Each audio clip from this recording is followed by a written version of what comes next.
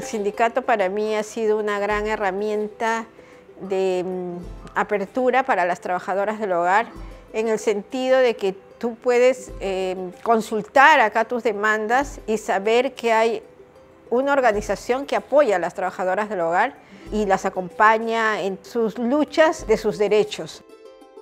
Hay que empezar a, construir alianzas entre nosotras y cuidarnos entre nosotras, a que todas estemos mirando una, misma lucha que nos va a beneficiar a todas.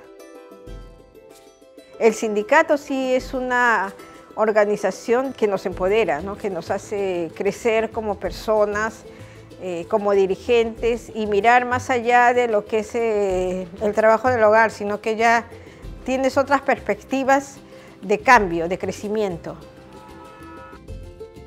Construir el sindicalismo ha, ha sido un proceso de formación, un proceso de educación, un proceso de aprender, un proceso de comprender. Yo creo que aporta en que las hemos empoderado en sus derechos, que confían que ellas son sujeto de derecho. Eso no ha sido fácil, obviamente, ha sido un proceso muy largo. Antes era naturalizado tener a una trabajadora del hogar sin derechos, sin vacaciones, le podían sacar la vuelta que no tiene gratificación, por ejemplo, en fiestas patrias o en Navidad. Entonces era muy, muy naturalizado. Era, así era para las ni siquiera domésticas se las llamaba, se las llamaba las cholas, las indias.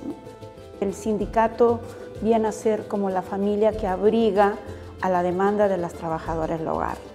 El sindicato en la vida de las trabajadoras las transforma, nos empodera, nos hace ser más hermanas, más solidarias.